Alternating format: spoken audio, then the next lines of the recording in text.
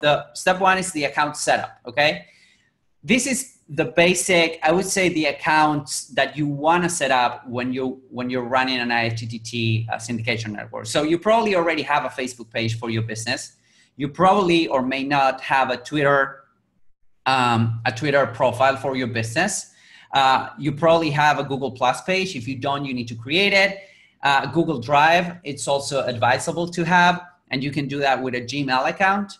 Uh, and then there are some other places that people are not actively opening accounts on, which are Diigo, Diigo.com. And don't worry because I'm going to share with you guys all of the URLs for everything. Delicious.com, which is another social bookmarking website. Uh, WordPress.com, Tumblr, Blogger, Pocket.com uh, as well, bit.ly, and OneNote. This is the basic uh, amount of accounts that I would recommend. And again, don't worry because you know I have a list that you can download. It's uh, I have this prepared for you. But this is basically the, the account setup, and there's a bunch of others, but these are the highest authority websites. So if you really want to go with the bare minimum, go with these websites, okay?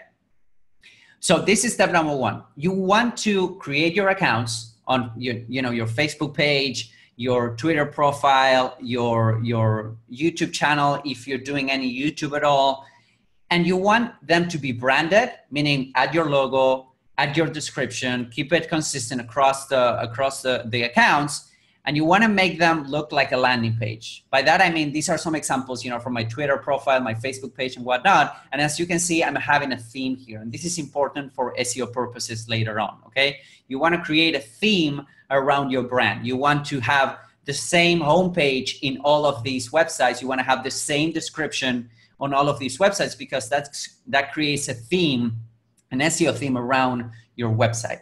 So that those are best practices to create your your accounts okay? So number one is the recipes on ifttt so you have your you go to ifttt.com you create an account it's completely for free. That's step number one. Step number two is to download these uh, recipes which is uh, if you go to semanticmastery.com forward slash success you will have access to the, that Google Doc that you can make a copy. Uh, you know, uh, there's nothing to opt in for. You just make a copy, and you will be able to see the recipes that you want to import into your account. So these are some examples. This is what you're going to find on the document. Okay, so as you can see on the left, we have the recipe. So all you need to do is to open this once you have your ifttt.com account.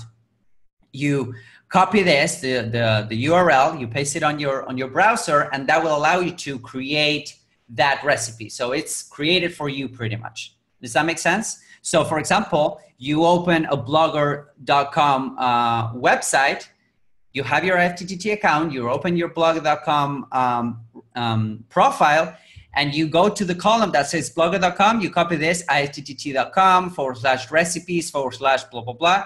You copy this on the browser, and since you're already logged in into your IFTTT account, it will populate that recipe. So boom, you have your blog set up with Blogger right now. Does that make sense, Liam? Yeah, it does. Interesting. So, with these recipes, do they ever expire? I mean, I know it sounds like you've been doing it for a number of years. So, mm-hmm. do we need to keep updating these recipes or do they always work?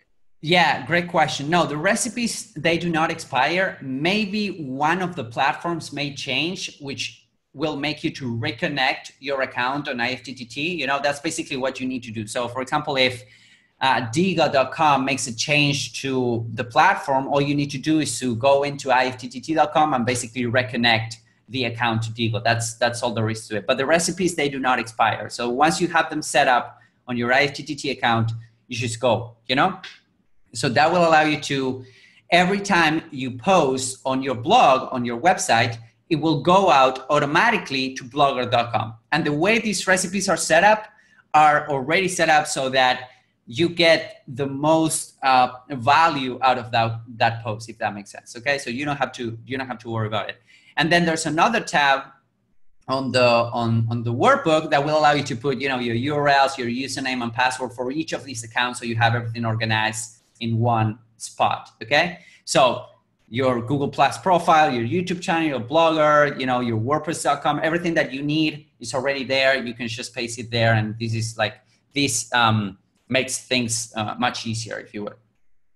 So that's that's what you want to do. Again, the the recipes are there. You don't need to, you know, you can download them for Excel if you want. You don't need to opt in for anything, but all you need to do is to make a copy for your own records, meaning make a copy on Google Drive because this is read only. You won't be able to actually edit this. So you make a copy on Google Drive or you download it to your hard drive and then you can make a copy, you can edit it.